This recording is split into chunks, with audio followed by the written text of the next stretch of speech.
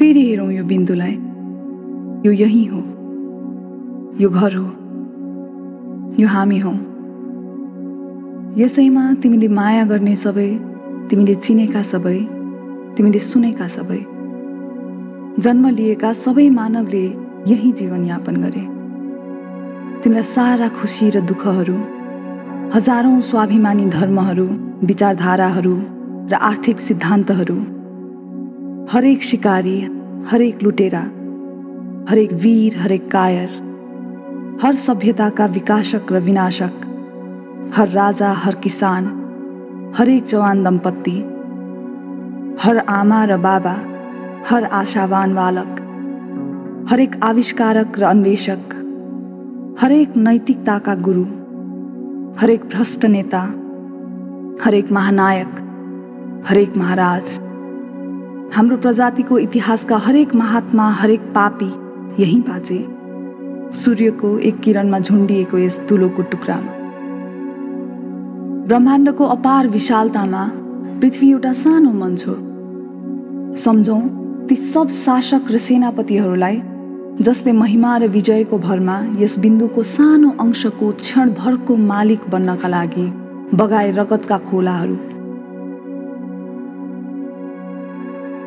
सम्झौँ यस बिन्दुको एक कुनाका बासिन्दाले अर्को कुनाका भिन्न निवासीहरूमाथि गरेका अन्तहीन क्रूरताहरूलाई कति अनेक तिनका भ्रमहरू कति तप्तर तिनीहरू एकअर्कालाई मेटाउन कति चर्को तिनको घृणा।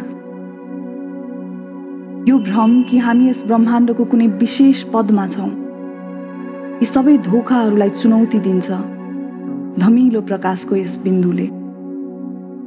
हाम्रो ग्रह यस विशाल लौकिक अन्धकारमा रहेको एक्लो छिट्टा हो। हाम्रो अस्पष्टताहरूमा यस अन्तहीन विस्तारमा कुनै सङ्केत छैन अन्तै कहीँबाट मद्दत आउला भन्ने।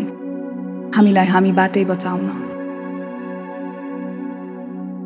पृथ्वी एक मात्र ज्ञात संसार हो जहाँ जीवन छ।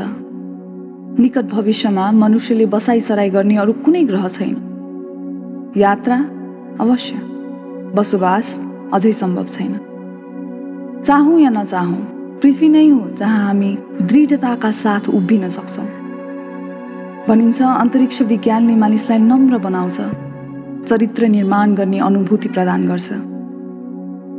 मानवहरूको घमण्ड मूर्खता हो भन्ने सत्यको प्रदर्शन यस सूक्ष्म संसारभन्दा टाढाबाट खिचिएको यस तस्बिरभन्दा बलियो हुन सक्दैन होला।